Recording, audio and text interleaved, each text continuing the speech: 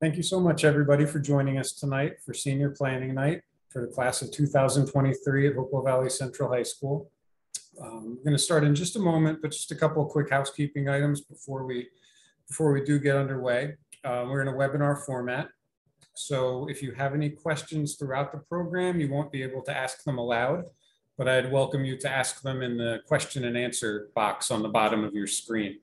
Uh, there's the chat and the Q&A, but if you can use the Q&A, it'll, it'll make things a little easier for me to keep track of and field questions as we're going along. I'll do my best to answer questions as they're relevant to the conversation.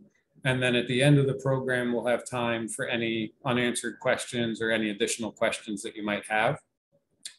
And if you have any personal questions that you'd prefer not to ask in front of the larger group tonight, feel free to contact either myself or your child's school counselor uh, in the coming days. And we can have that more um, individualized personal conversation about any of your questions.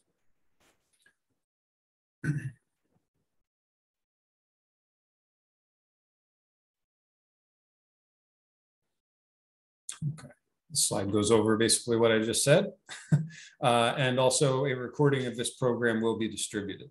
Uh, there's a, a, portion of parents who I think will miss tonight because it's the senior night for the girls soccer team. So first of all, I hope they do extremely well tonight. And second, if anybody has any questions who misses the program, feel free to reach out afterwards.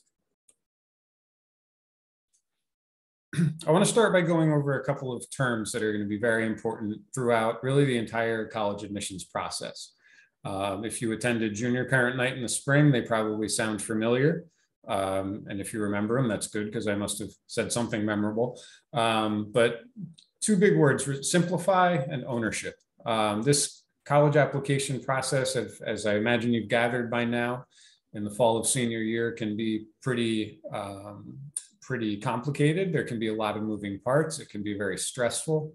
Uh, and we do everything we can as a counseling team to alleviate that um, but the best thing that, that a student can do and parents can do is try to simplify that, that complicated process and try to break down what's a long-term process with a lot of moving parts into more short-term objectives, focusing on those goals and those pieces that can be completed more in the short term, more immediately.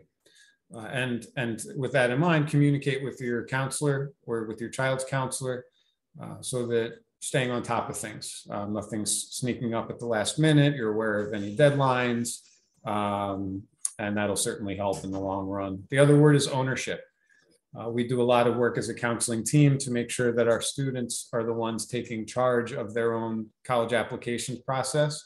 They're extremely fortunate to have parents who are so interested and, and helping them along the way, but it's really important that they're the ones taking charge uh, and and the lead in their admissions process. That's how we we that's how students really find schools that are going to be good fits for them if, if they're the ones taking the lead. Um, just to share one example, at the previous school I worked at, uh, the most egregious example of this is a student who uh, had already submitted all of their applications and come to found out about I think it was about January that they'd all been submitted through his parents' email address, um, and it was awkward. Uh, and, you know, I don't, I don't know if it costs the student in the long run, but it, it certainly didn't help, I think, to for a school to see an email address other than their own that their applications were attached to. So just like to mention that at the outset. So just to go over what's been happening in the counseling office since school started. Um, actually, we could circle back before school started. Uh, over the summer, we hosted a couple of college application workshops that hopefully a lot of you, a lot of you or a lot of your, your children attended um, in August to try to just kind of jumpstart that application process for as many of our rising seniors as possible. Uh, we had, I want to say, I forget the exact number, 60 or 70, maybe 80 students between the two sessions who came in and worked with us in the community room. Uh, and I, I like to think it really gave them a leg up and made them feel more comfortable going into senior year. Um, in the past couple of weeks since school started, our, our counselors have been visiting our seniors recitation classes uh, and giving kind of group presentations, refreshers on the admissions process and explaining exactly what counselors are expecting from the students and um, kind of the nuts and bolts of the of the process, especially as it pertains to their um, work in the counseling office. Right now, we have individual senior planning meetings ongoing with each student. Um, so each student is being is meeting individually with their counselor for a you know a tailored meeting to discuss post-secondary plans, whether that's college or or any other path after high school, which we'll discuss more about. And then obviously our department is working hard to process all of those application documents upon student request, transcripts, recommendation letters, et cetera, which, which we'll talk about later in the presentation. So before, the majority of tonight is going to focus on the, the application process for four-year colleges, but we'd be remiss if we didn't talk about all of the uh, valuable pathways that students have to choose from after graduating high school. Uh, first, we have all types of different colleges from two-year schools to four-year schools, vocational and trade schools for students who might want to go into a particular line of work um, and accelerate along that path. There's obviously the military, there's, there's directly into the workforce. And then there's the gap year, which is another really interesting option for a student following high school graduation. Um, each spring, we host a gap year webinar similar to this one uh, with um, Miss Holly Bull. She is a leader in the, the gap year world. Um, and she joins us each spring to um, kind of give a rundown of, of what the gap year is, um, you know, what value it might provide for individual students. We have all of our parent programs like this one posted on our counseling department website. So uh, you can find last spring's gap year presentation uh, posted right there if you'd like to review it. And then there obviously will be another gap year webinar uh, this coming spring. I mentioned four-year college and two-year college. I just wanted to speak a little bit more about two-year college, specifically Mercer County Community College, which we have right in our backyard, such a fabulous school, and kind of just explain a little bit of the value that it can provide to students. Um, the, these links you'll see throughout the program, you can't click them now in the webinar format, but when I send the slides out and the presentation out, uh, eventually you will be able to click all of the links that you see. Um, sometimes I, I, feel that community college is an overlooked option. Um, you know, and I think it's become especially valuable these days after the kind of financial climate that the past few years have brought. Uh, at, at, in the fall of 2022 at Mercer County, you pay about $600 for a three credit course versus, you know, thousands of dollars at some four-year schools just for a single credit. When you do the math over, you know, the course of the associate's degree that you would earn at Mercer County Community College, the financial savings can be uh, pretty amazing. Um, there are a wide, wide array of associates programs and certificate programs offered at Mercer County. There's a link there, but obviously you can just Google it and find it pretty easily yourself as well, all the, all the different programs that they offer. And Mercer County or any community college can be extremely valuable for any student. I think it's especially valuable for the student who maybe doesn't have the transcript coming out of high school that adequately represents their abilities, their potential. Uh, maybe a down period through high school or didn't quite hit the ground running freshman year and the GPA isn't what it quite could be um, you know, community college can offer a real springboard for a student who um, might not be able to get into the type of a school out of out of high school that they really belong at. But if they spend a year or two at a at a community college, it can springboard them into that, you know, upper echelon of of, of four year schools, Ivy leagues even, and and some of the most um, some of the most selective schools in the country take many many many students from community colleges every year. So I just wanted to go over that. If community college uh, is, is something that interests you, um, it's certainly a conversation to have with your child, with your student, and with their um, with their counselor if you'd like to discuss it further. One of the most important things at this point is to be getting organized, to have an idea of uh, all the deadlines that are going to be coming up in the in the next few months, um, and just getting a picture of, of what's coming. So the first point is to become familiar with Naviance. Hopefully that's a word that you're familiar with at this point. Every student in our school has a Naviance account. You as, as parents, you can access Naviance through your students' accounts. Our parents do not get their own accounts. But you're you can use the same password and, and login credentials as the student and log in and um, have a look around. Naviance is what we sent, what we use to send all of the supporting documents to colleges. And it's where we have our students build the lists of the colleges that they're applying to, because that's how we eventually send the documents. At this point, students really should have already built the list of colleges they're thinking about. As they've been identifying schools, they, they've been told to be adding them to that list and then when they meet with their counselor here in, this, in the fall of senior year, uh, the counselor will move those schools that they're actually applying to, the ones that they that the student submits a transcript request form, they'll move those schools to the colleges I'm applying to list. We'll talk a little bit more about those transcript request forms, but uh, that's something that a student needs to submit one copy of for every school that they apply to. If you apply to 10 schools, you submit 10 unique transcript request forms, one for each school. And that's how we know where to send what. It's also extremely important to know all the deadlines, know our counseling office deadlines, which we'll talk about, know the actual college's application deadlines. And we have our own deadlines a couple weeks ahead of the college deadlines so that we can make sure we have time to process all the documents. Uh, and then SAT or ACT registration deadlines. At this point in senior year, most students have probably already taken are, probably finished taking the SAT and or the ACT. Uh, if not, they've probably registered for all of their SATs or ACTs, but if not, be mindful of, of all those deadlines. And then financial aid and scholarship deadlines. We'll talk a little bit more about that later in the program. We also have a financial aid night similar to this one. We have financial aid night coming up uh, on October, uh, the dates later in the slides. I believe it's the 11th, but we'll, we'll fact check that later. A few, a few points on building that list of colleges. Uh, it's extremely important to build an appropriate list of schools.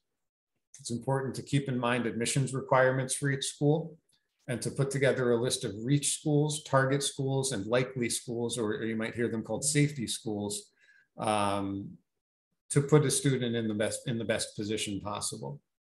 It's important to be setting up visits and talking with admissions representatives from each college and it's important that the student is the one making those communications.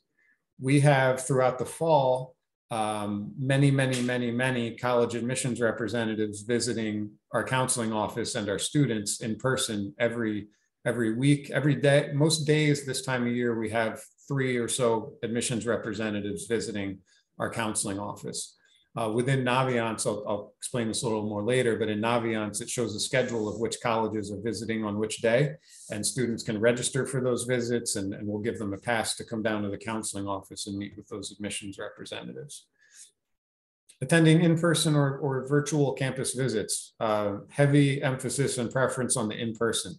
In the past few years, colleges have developed a, a wide array of virtual campus visit tools and um, uh, you know, the, the virtual tools and the virtual tour guides on the website and all this impressive stuff they that they had to come up with during COVID while campuses were closed. But now that campuses are open again, really rely on those in-person visits. That's how you get the feel for which school is the right fit and where a student's going to be happy. Um, on that on that note, we'd like to focus on, and if this slide looks familiar, it's because I copied it from our junior parent night in the spring, uh, but it's still extremely extreme, uh, extremely relevant. Uh, we want to make sure that we're focusing on the best fit school, not just getting into the best school or the, the most impressive school or, or what, what have you. Um, we can really increase the chance that a student's going to be happy and that they're going to that they're going to matriculate and be retained at that college and and not not want to transfer, not want to go somewhere else. Um, you know, these days, most colleges are between 15 and 40 percent of all newly enrolled undergraduates are via transfer.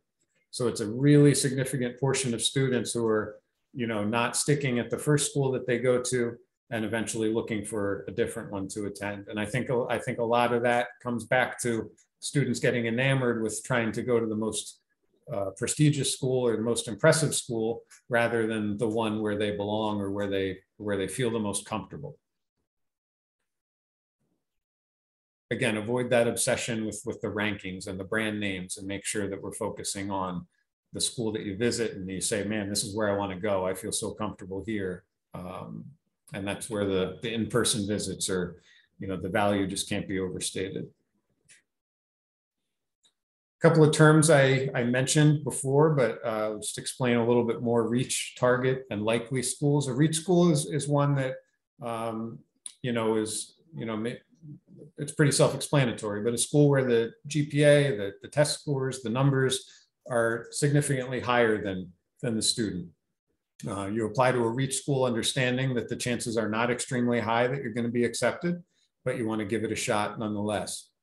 Certain schools like Ivy League schools are, are reaches for every single applicant, even if you know a top top student, their GPA and their SAT uh, or ACT score might look like it's in line with the numbers that those colleges, those Ivy League schools publish.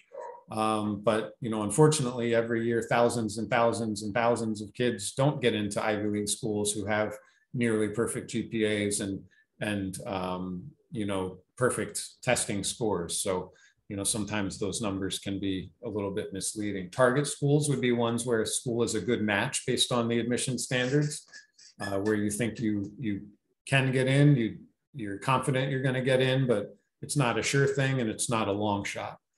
Uh, and then a likely school or a safety school is, is one where a student far exceeds the, the admission standards.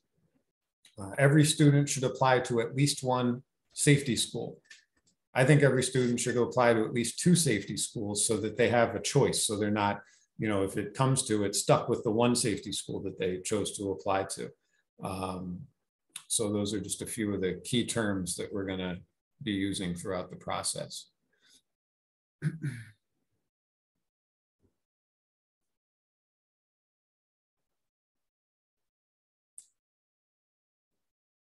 There was a, a question in the Q&A, do we have to request transcripts for schools that only need SRAR links? Uh, it's, a good, it's a really good question.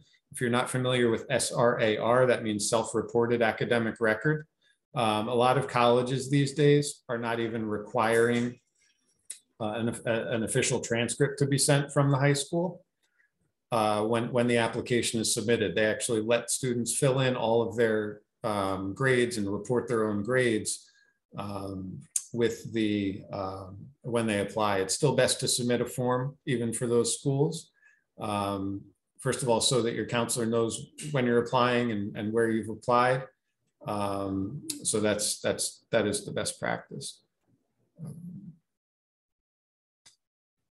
So in terms of, we talked about, I'm sorry, go backwards for a second. We talked about reach, target, and safety schools and kind of gauging your chances with, with each school. Um, we have tool, a tool in Naviance called scattergrams, which are probably the most valuable tool to, to categorize schools in, in that way. You'll see a, a, chart here for Virginia Polytechnic Institute State University, otherwise known as Virginia Tech. You might have guessed that's my alma mater. Um, and I you know, so I chose to use it on this slide. But you'll see that these charts really map out um, and give a good idea of a student's chances for acceptance um, at a given school. This, the charts show students who were accepted in greens, who were um, rejected in red, and if they're in purple, it means that they were waitlisted. And then we don't know, it wasn't reported whether or not they eventually got in. Um, so you'll see our students have done really well at Virginia Tech in recent years. This, these, these charts only show Hope, Hopewell students, and they only show students in, in the previous few years. Um, as, a, as a former Hopewell Valley High School student graduate and a former Virginia Tech graduate, uh, I love to see that so many students are still heading down to Blacksburg from Hopewell. Um, but you'll see that the, the charts show dotted lines for the average GPA of accepted students for each college and, and the dotted line for the average test score of, of accepted students.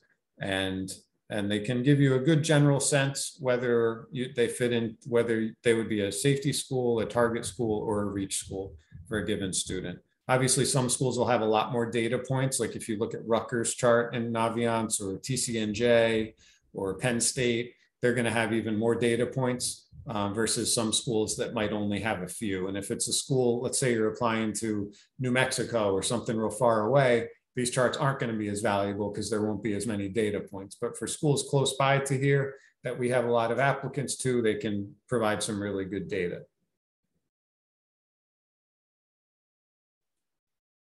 kind of segues into choosing a major. One of the things those charts doesn't show is, is what major each student applied for, um, each data point on those charts. And sometimes that can explain why a student up here didn't get into a given school and a student down here did get into that school. It can be because up here applied for a pre-med track or a real competitive engineering program. And then the student who was down lower applied undecided or, or to a less rigorous program. Um, so the chosen major can have a really significant impact on an admissions decision.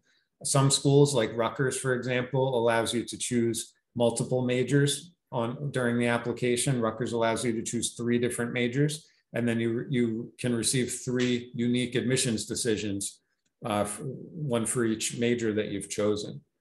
Um, and, and there's nothing wrong with applying undecided. If a student doesn't know what they want to go into at this point, you're not, you're not forced to um, to choose something. You can go undecided. You can choose a more broad major uh, line of study.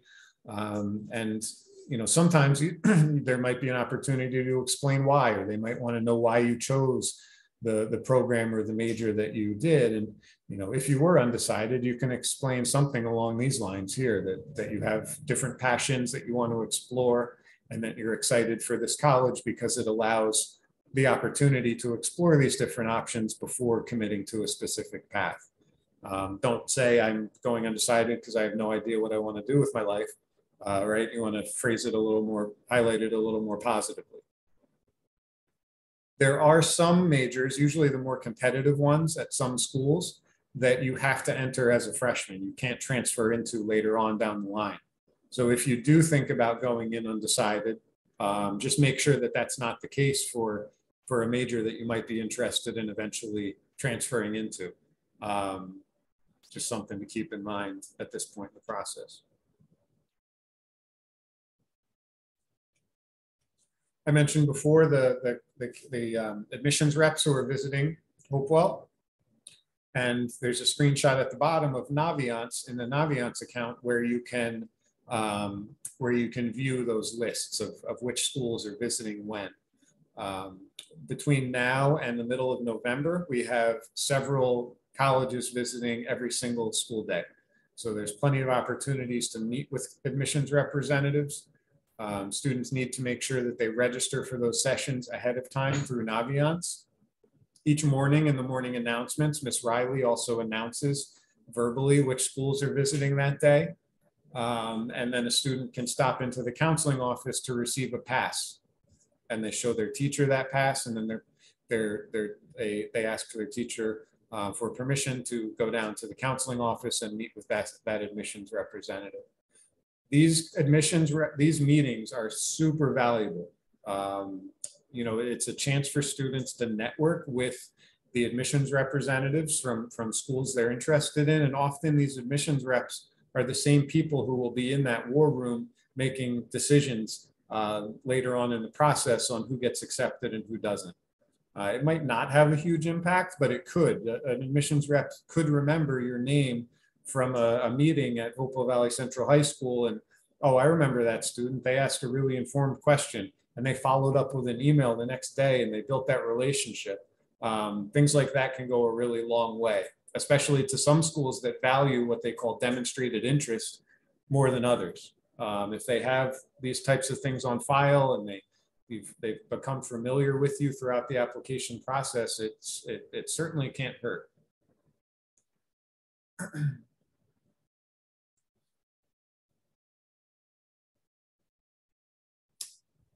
I'm just going into, I'm just looking at the Q&A. There's a couple questions. Are recommendation letters letters invited and submitted through Common App?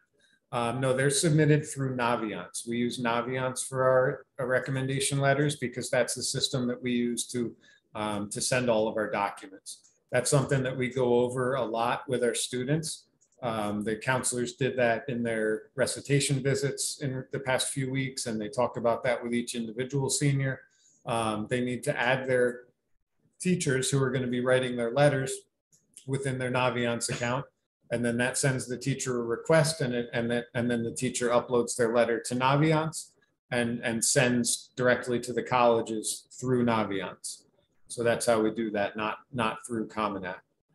Um, and what's the best way to find out if a college is flexible to transfer undecided students to a particular major in the future? It's a pretty specific question. So it's probably not something uh, that's going to be found on the website. Uh, if it's if it's something you're considering, it's it's really it's really a question to ask directly to an admissions representative for a particular school. I, I would check the website first and see if there's any information about that. Um, but it's, it's probably the type of question that would need to be directed, um, be asked directly to the college, to the admissions rep. Let's see. Should you do an interview if a college offers them? What are the benefits and risks? How should the student prepare? Um, that's a pretty loaded question, and we could talk for quite a while about just that, about preparing for an admissions interview. Um, I think that that I think that in almost every case, it's a good idea if a, if a college offers an interview, and not that many colleges, a lot of colleges don't offer admissions interviews, but if they do offer one, it probably means that they value it and that a student could do themselves a lot of favors by by doing well in one. Um, in terms of preparing for an interview, like I said, there's a lot there. Uh, I would recommend um, either you or your your your, your child um, talking to their counselor about that and, and having you know a further conversation about that.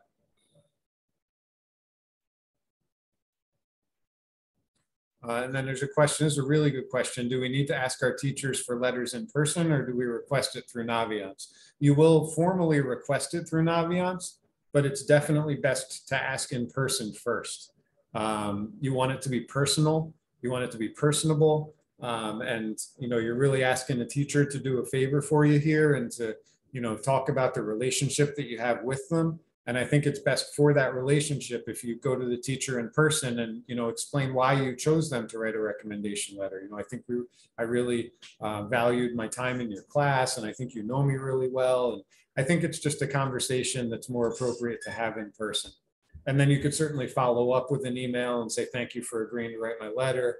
Uh, I'm putting the requests in through Naviance. Um, so, so I think it's both. It's, it's best to have to initiate it with a conversation in person. And then you will actually put the request in through Naviance so that the teacher has it on their account that they need to submit your letter.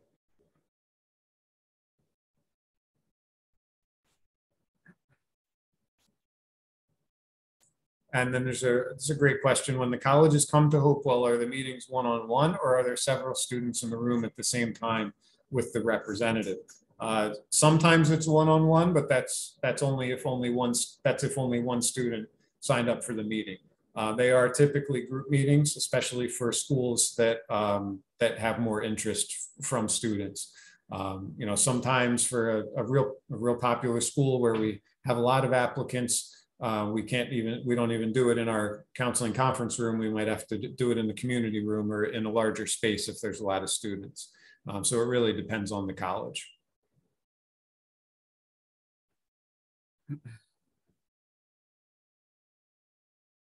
Uh, there's a question that a teacher asked my child for an email and information on which schools. So how do they then ask through Naviance for recommendations? Um, so it, it's there's a, a, mix of communication in person, um, you know, and answering any questions the, the teacher has. Teachers might ask a student for a resume or for, for certain information to help them write the best letter that they can. Um, but then there's also a formal process in Naviance where you click on, I believe you click colleges on the top, and then you click letters of recommendation. And then there's a tool where you can select the teachers from a drop down menu and pick exactly which teacher you'd like to write your letter uh, for your colleges. And then once you do that in the teacher's account, it shows them a list of the colleges you're the students applying to and, and where they need to um, submit their letters. Who are the best folks to review college essays? Um, I think I often suggest uh, an English teacher and I suggest counselors. Uh, there certainly could be other people, other valuable people to to read them, other teachers or you know um, other people who a student might know who who might be might be able to help. Um, but my most common suggestions are English teacher and counselor. And, you know, the English teacher can help with, you know, more of the nuts and bolts and the structure and the, the actual like um, the writing of the essay.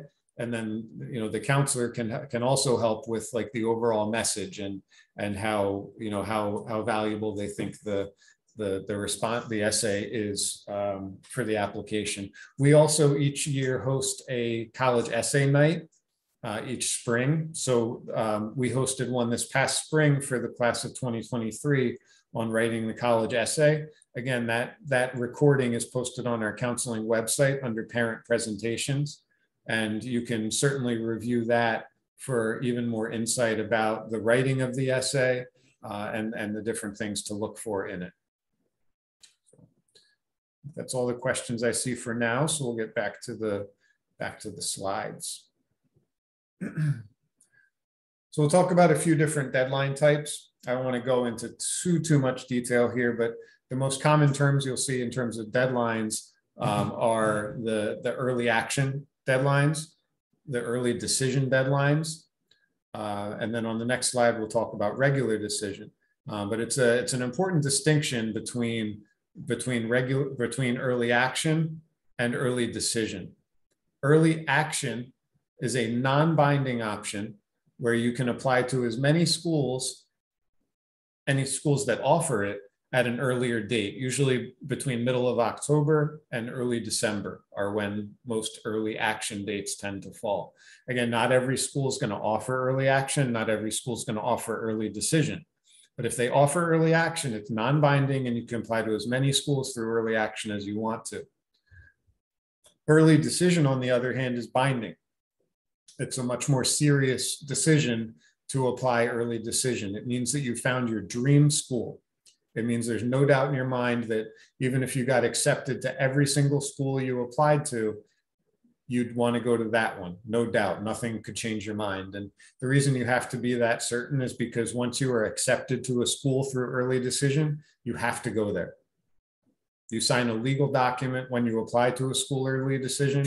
A parent has to sign it and the counselor has to sign it, certifying that the, the applicant understands and the family understands that um, they are they are bound to attend the, the institution if they get accepted. Um, I've had students in the past apply early decision for the wrong reasons. They apply early decision because they see that the acceptance rates through early decision are a little bit higher than through early action or regular decision.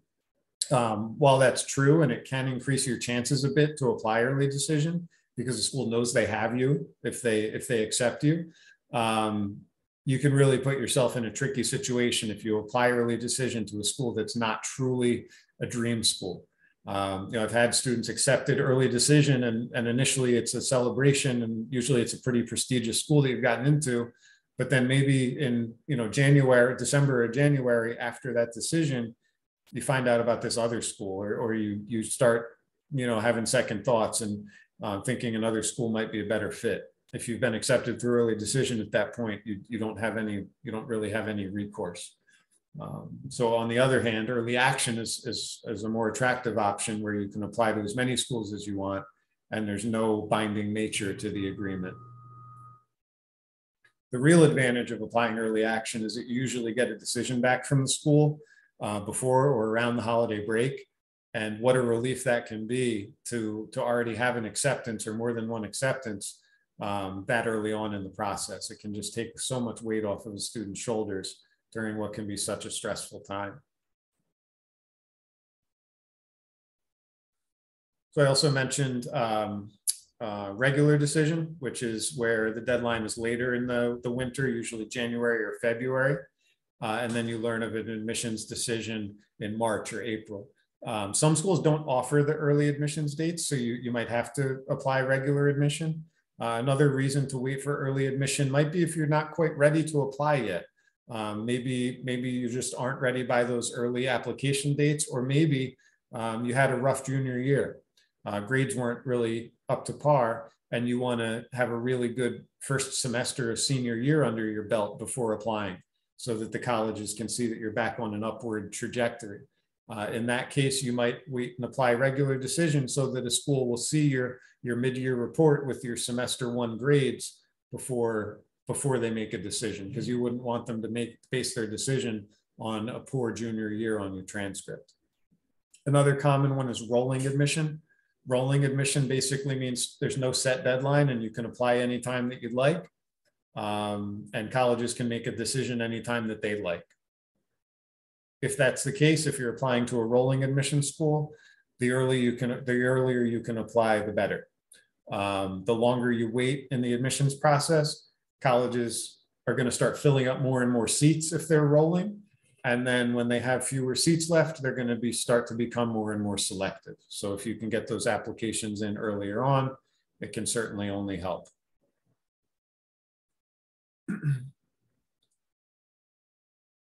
Uh, there's a question, how are colleges chosen for the visits? Um, they, the colleges sign up through, um, through Naviance. They register for, uh, we don't select them.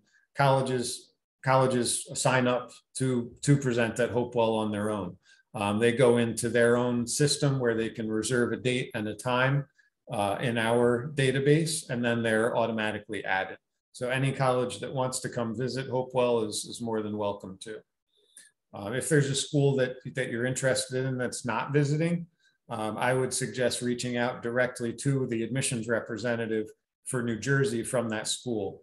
Uh, you can usually find, you can always find that information on a college's admissions website.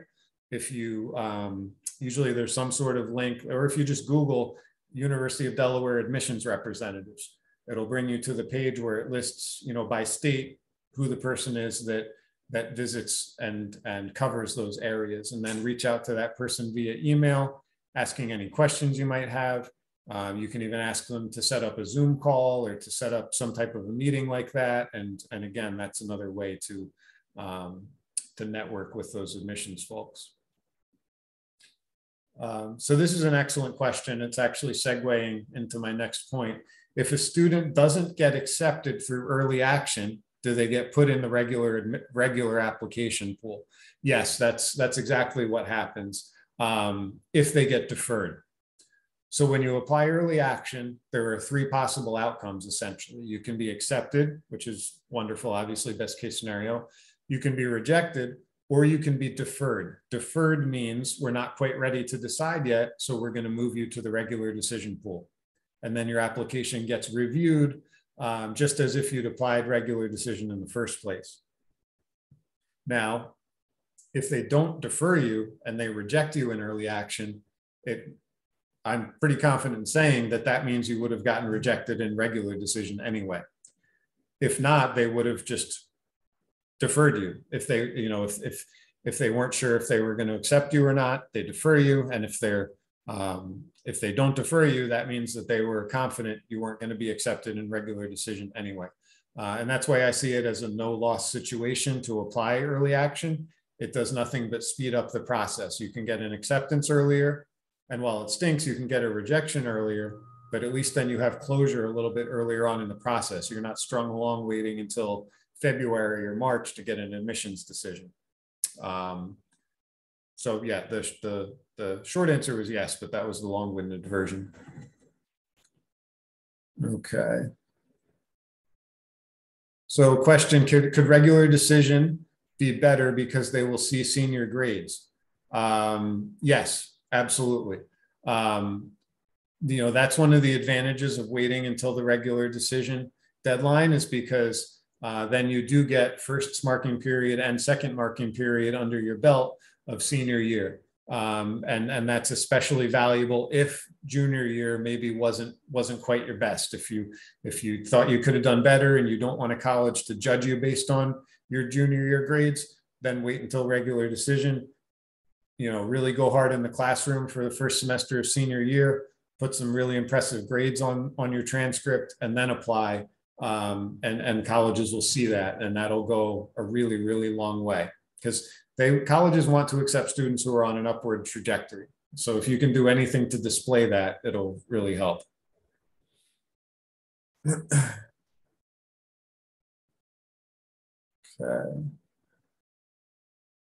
For early action November 1st, when do students request transcripts? Um, we'll, we'll get to those deadlines a little bit later on in the presentation. Um, uh, will, will first quarter grades of 12th grade show if applying in December?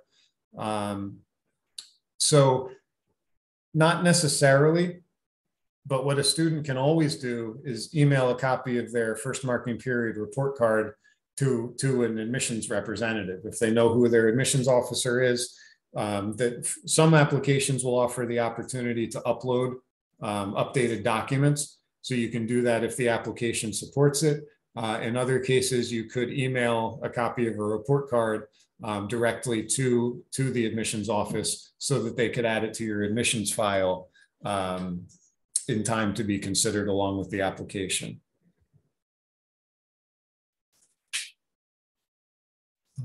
If my child has already decided to apply early decision to one school, should we still go forward with other applications or should we wait until the decision in December? I would I would move forward with those other applications. Um, it'll just make things if and I, and I hope they do get accepted to that school. But um, if they don't, then at least you'll be a little bit more ahead of the game and and you know won't have to scramble as much to get those that next round of applications in. Um, so I, I would suggest still submitting those other applications or at least being being ready to click submit um, so that you don't have to scramble at the last minute. Some colleges that are, another question, some colleges that are test optional say they lean on reference letters and prefer core subjects or and prefer core subjects or counselors for the recommendation letters. Um, um, so there's a question since my, so this alludes to a, a counselor who has just left Hopewell High School. Um, but you can still rely on the interim counselor who's here in their place to write a recommendation letter. In fact, when colleges list how many recommendation letters they, re they require, uh, that's for teacher recommendation letters. The counselor recommendation letter is completely separate. And if they're asking for recommendation letters, it's assumed that you're going to submit a counselor letter and that, that number of teacher letters that they're requesting. Um, and even though uh, we did just have a counselor leave our team, um, we have an interim counselor, Mr. DeVito, in, in their place, and he's more than prepared to write those recommendation letters for those students. It does increase the value of those, um, those brag sheets that, that each student has been instructed to fill out. Um, all counselors ask students to complete brag sheets to fill them in on, on everything they've done throughout high school, especially the things that the counselor might not be aware of. Um, and when you have a new counselor, whether it's this situation or another one, you know, there's, there's students all over the country with new counselors right now applying to colleges. Those brag sheets are really what help the counselor um, learn about the student and prepare to write the best recommendation letter possible, in addition to their meetings with the students and getting to know them. Um, but that's a very good question. Does early action require you to make a decision earlier? No, it does not. If you're accepted through early action, you still have until um, until the spring to to decide to make a decision and to commit. Typically, May 1st is kind of denoted as the the national college um, decision day when when students make decisions on their applications, and that's whether they were accepted in early action or or in regular decision. Okay.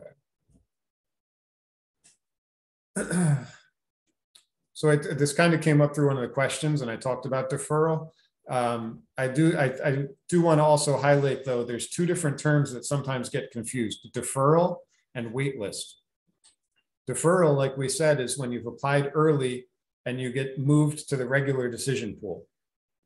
Waitlist is when you've applied um, through regular decision, or you were maybe deferred to regular decision, and now the college has gone through all of their regular decision decisions.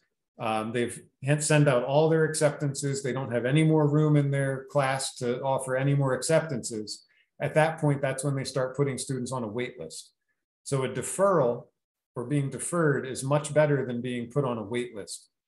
Deferral means that you're still in the game. You've just been moved from early action to regular decision. Whereas waitlist means we're done.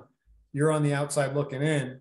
Uh, and if, if enough students tell us that they don't want to come here, you know, enough students who were accepted turn down their offer of acceptance, then we might have room for some students who are on the wait list. So in a nutshell, er, uh, deferral is, is much better than waitlist. So we'll talk a little bit about the pandemic's effect on the process, although I think it's it's decreasing a little bit compared to you know the past couple of application um, classes. Um, um, so a lot of factors here you see on the screen have remained the same. A couple of, you know, some things have changed. It, changed. The one largest thing that's changed is the number of test optional schools. We're up to now, I think it's now over 800 schools across the country that are um, that have test optional policies. Um, and you know that's that that's a number that started you know, colleges started going test optional for the class of 2020, the class of 2021, because those students just didn't have the opportunity to take the SAT as many times as they they would have without the, the pandemic having canceled everything. Um, but I think over the course of the last few years, a lot of colleges realized, well, maybe maybe we don't really need test scores as much as we thought. You know, maybe we can make really good, solid admissions decisions based on uh, recommendation letters and, and students' essays and uh, everything else that we can learn about students uh, beyond those test scores. So, um, and, you know, the number really hasn't decreased. It's it's become larger. The number of schools that are that are still test optional. You know, students' activities might have been disrupted for our seniors now. It would have been a little earlier on in high school but colleges will understand that if there are some gaps in the extracurriculars, especially volunteer work where, you know, you really couldn't volunteer a lot of places at the height of the pandemic.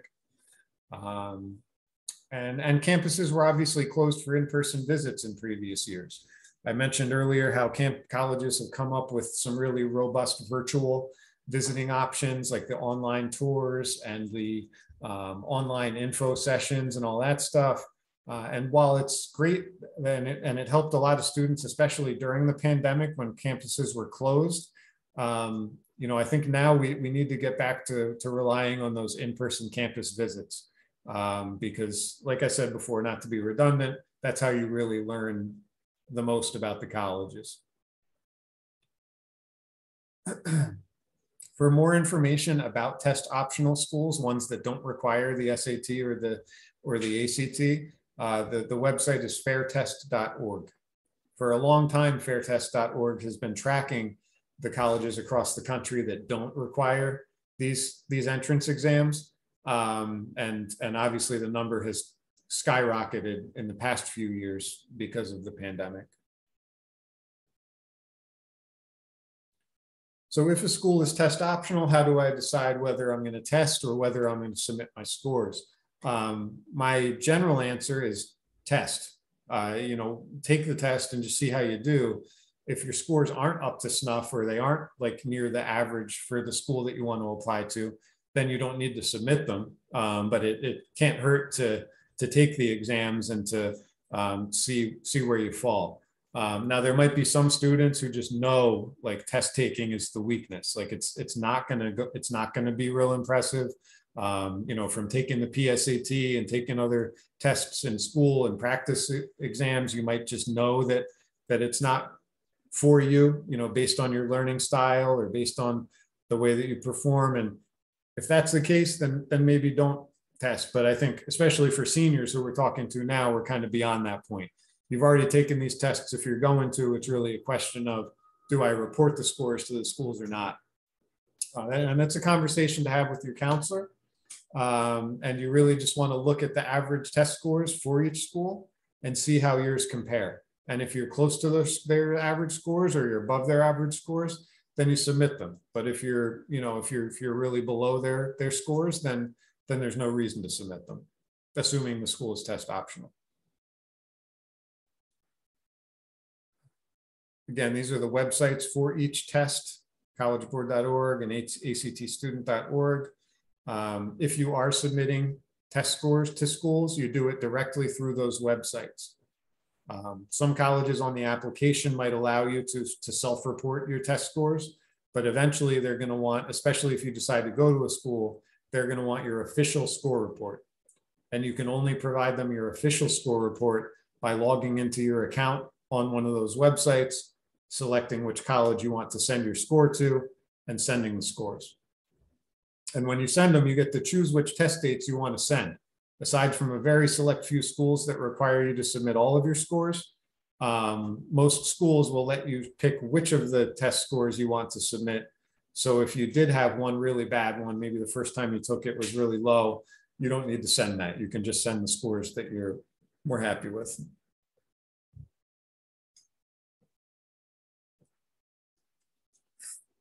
I kind of jumped ahead and spoke about what, what's on this slide here. it's important not to wait till the last minute. You might think that if you go on College Board and, and click submit my August SAT score, it just like automatically like drops into the college's inbox like magic, but it doesn't. It takes College Board quite some time to process their documents. Um, so it's best to send those score reports weeks ahead of any deadlines. Um, they do offer a rush score report for an additional fee if you're kind of backed up against the wall. But in general, um, just submit the scores earlier rather than later, and, and you won't have anything to worry about. You do not have to coincide your sending of scores with your submission of the application. You can you can go in and send your scores even before you apply, and it's perfectly fine. Um, the, the, the files and documents will all marry together out in cyberspace um, once you're once you once you apply to the school they'll all then populate into your admissions file with the school. So you don't have to worry about submitting everything like at the same time or one thing before the other. Just submit them.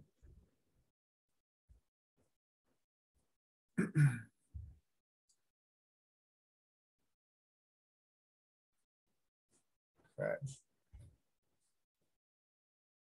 just a couple of different websites. There's also the coalition um, coalition application that you might see or you might come across. It's much less common than, than the Common App, as the name suggests. Um, but it's another application that started several years ago um, that, that a number of schools use. Um, and then there also are school specific applications. Some schools don't take Common App, don't take Coalition, and you'll just have to go to their website and fill out their separate application on their website. So those are the three different um, three different places you might be applying. Uh, an important note there, make sure that you're using a, a personal email address when you apply and a school appropriate one. Both of those points are very important. Um, you know, you might have a student might have a more like childish email address from years past. You want to make sure when you're applying to college, it's it should just be like first name, last name at Gmail or you know something more professional along those lines. It's best not to use your school email address. Uh, first of all, um, the main reason is because let's say, you know, let's say you're creating a Common App account. if you ever do decide to transfer down the line, you're going to need to use Common App again for those, those transfer applications. And if you created your Common App account with your school email address, it, it'll be dead at that point. You won't be able to access it because your school email account will be deactivated. But if you used your Gmail account or your other personal email account, then it'll still be active and you'll be able to log right back in and pick up where you left off in submitting those, um, those other applications. Uh, there's one question, how can we find the 2022-23 school profile for HVCHS? You don't really need to find that. That's something that we submit uh, through Naviance along with all the supporting documents. We submit the transcript, um, recommendation letters, school profile, that's uh, that's something that we take care of in the counseling office.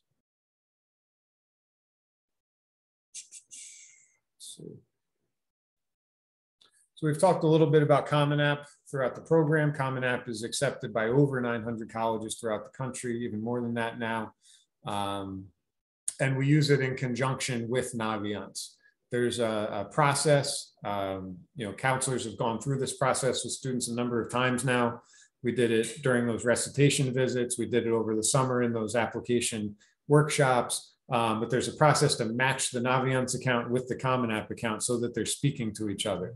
And what's done in Common App is then reflected in Naviance and, and vice versa.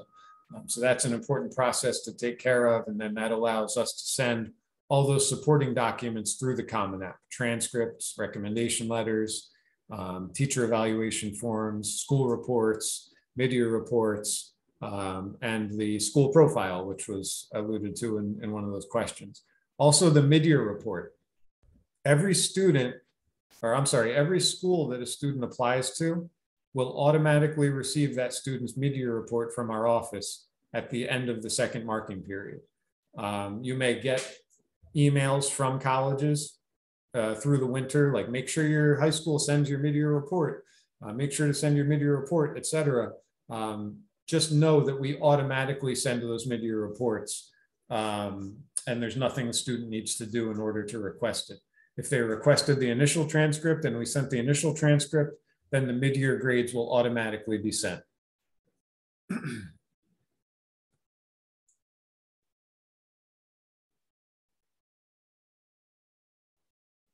Uh, there's a question, how do you link Naviance to Common App if not using school email address? Um, that's, it, it doesn't require a school email address. When you, um, um, when you follow the instructions to match Naviance and Common App, it asks, in Naviance, it'll ask you to type in the email address that you used for Common App. And you just type in whatever email address that was, Gmail or whatever it was. Um, and then the, the two platforms link together. The linking process between Naviance and Common App, is it done in Naviance or is it Common App? It's done in both actually. Um, you'll start the process in Common App by signing the FERPA waiver um, and by you know clicking through those, those instructions and then and then it'll tell you to return to Naviance. And when you go back into Naviance, it'll ask you to click the match button and to type in the email address you used for Common App and then it, it links the two together. So it's kind of a, a back and forth between the two uh, between the two sites. It's a process that our students should be familiar with by now, and they should have already completed by now. So that's a good question to ask a student. excuse me, if they've already done that, and if they haven't done it, they should um, talk to their counselor and make sure that they do it ASAP. Are mid-year grades automatically sent even if not using Common App? Yes, if we if we have sent um, initial grades, then we automatically send mid-year grades.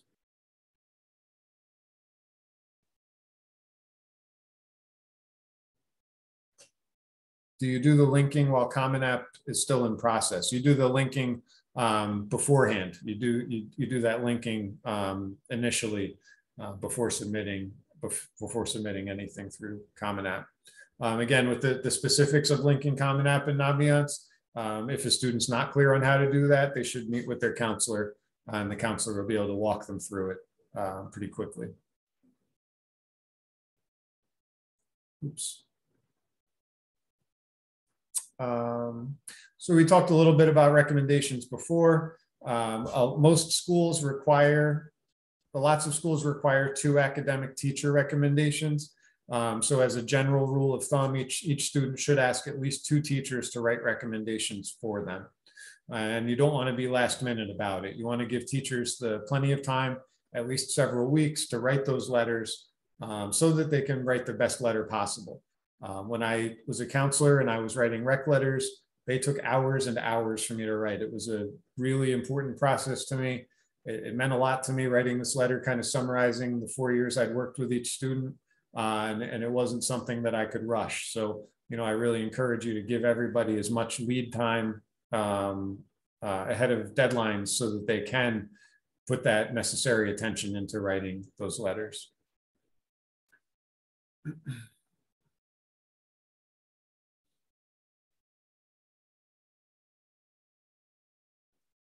So I mentioned before um, the senior transcript the release authorization um, is one piece that needs to be submitted to the counseling office. Uh, and then the senior transcript request forms. Excuse me. Those request forms are Google documents, um, Google Forms, I should say. And one of those forms will be submitted for each school that a student is applying to. If you're applying to 10 schools, you fill out 10 forms. If you're applying to five schools, five forms, and you don't have to give them all at once. Right. If you have a batch of five schools right now that you want to put through that you know you're applying to, that's fine. You can come back a few weeks later with the with the additional ones, just making sure that you get them in in plenty of time ahead of any deadlines. Um, brag sheets, I, I mentioned them before, but it's a really important piece to help the counselor write the best recommendation letter possible for each student. There are student brag sheets and there are parent brag sheets, and they are found within the student's Naviance account under About Me and then My Surveys. That's where you'll find them. So I really uh, encourage you to take those forms seriously, to think about um, think about what the what you've done, especially that your counselor is not aware of right? There might be things, especially if you have a strong relationship with your counselor, like, oh, they, they know that, they know everything about that. But then if there's maybe some volunteer work you did over the summer, um, or you know something that you've done that, that was more off the radar that your counselor's not aware of at all, that's the really important stuff to make sure that you're detailing in those um, on those brag sheets. There was a question earlier about those um, transcript request deadlines, and we want them in plenty of time ahead of your, your application deadlines, um, just to make sure that there's going to be no, no last minute surprises, to make sure everything can be in in plenty of time. If you have early action or early decision deadlines of November 1st or November 15th, we ask that you submit those transcript request forms by October 8th. Okay. If you have regular decision deadlines of January 1st or January 15th, we ask that you submit them before the Thanksgiving break. Okay, an important point about those January 1st or January 15th deadlines, don't leave anything to the last minute, especially with those deadlines, because obviously our school is closed for the entire holiday break from Jan from December what 23rd through the new year. And the colleges are also closed for, for that same period of time. So make sure that if you have any questions about the application process or what's required or, or submissions or anything, get those questions answered before, well before the holiday break. Because it stinks if you have a January 1st deadline and all of a sudden it's December 29th and you have these questions and and there's nobody in the high school counseling office there's nobody in the college admissions office because they're all closed again, so make sure you get any of those those um, concerns taken care of well ahead of the holiday break.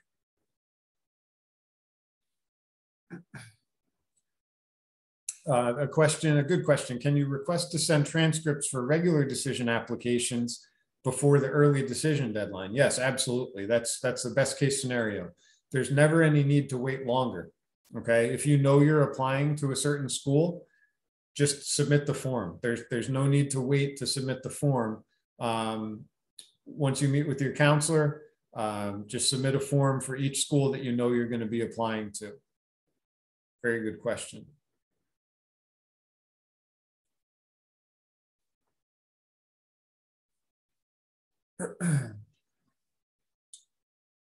So a couple words about financial aid.